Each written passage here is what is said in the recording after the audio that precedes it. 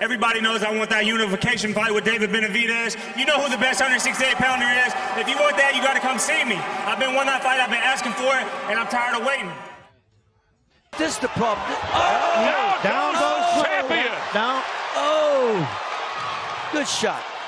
Davis started boxing to lose weight. He was good and he stuck around. But can he beat me? Absolutely not. I know you want to fight me. Of course I want to fight You fight think I want to fight you? Of course you want to fight me. Absolutely. Juara dunia IBF kelas menengah super Caleb Plant bulan November mendatang akan menghadapi superstar Meksiko Saul Canelo Alvarez. Meskipun masih beberapa bulan mendatang, akan tetapi atmosfer pertandingannya sudah terasa mulai saat sekarang. Apalagi saat konferensi pers kemarin sempat ricuh. Ada hal yang harus diketahui dari Caleb Plant sebelum pertandingannya dengan seorang Saul Canelo Alvarez. Ya, sebelum Plant melawan Canelo, dia pernah memberikan tantangan pada seorang David Benavidez, tepatnya di tahun 2020. Saat itu Caleb Plant menginginkan pertarungan unifikasi gelar melawan seorang juara WBC kelas menengah super yang tidak terkalahkan David Benavidez.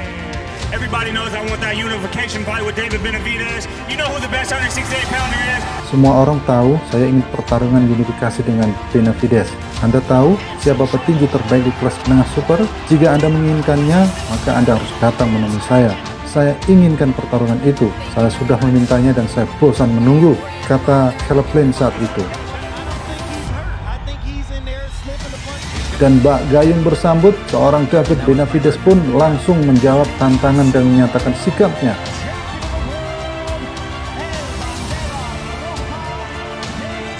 Oke, mari kita selesaikan ini.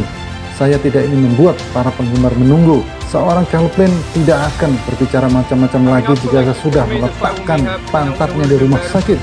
Saya ingin melihat Anda melakukan itu terhadap saya, kata Benavidez.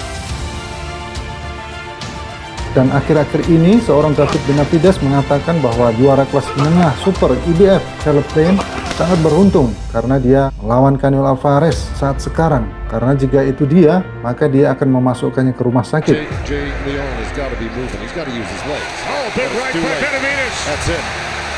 Mantan juara kelas menengah Super WBC dua kali, David Benavidez yang belum pernah terkalahkan dengan 24 kemenangan, di mana 21 kemenangannya KO, akan menghadapi Jose Uzcategui dalam eliminator gelar IBF 168 pada 13 November besok.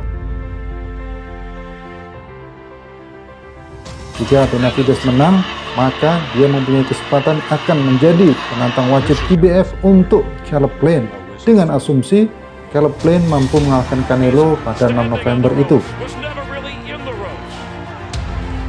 Kita bisa melihat Benavidez mengambil Caleb Plant sebagai wajibnya di awal 2022. Kemungkinan jika Caleb Plant mengalahkan Canelo, maka dia akan mengosokkan gelar IBF-nya untuk menghindari keharusannya melawan seorang Benavidez.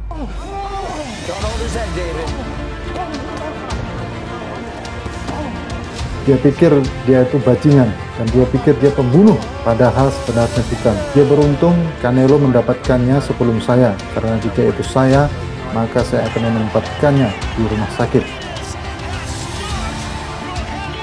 Well, you know, it was it was more with my brother, you know, honestly, but it's the same shit. What You know, happened? He tried to he tried to sucker punch, you know, and Jika Plant mampu mengalahkan Canelo dan Benavidez mengalahkan Jose Ustagio pada 13 November itu, maka kita bisa melihat pertarungan yang menarik pada tahun 2022. Canelo pertama-tama tentu akan menginginkan pertandingan ulangnya dengan Caleb Plant untuk mencoba dan membalas kekalahannya tersebut. Dan siapa yang tahu berapa lama pertarungan itu akan dapat berlangsung sebelum dijadwalkan.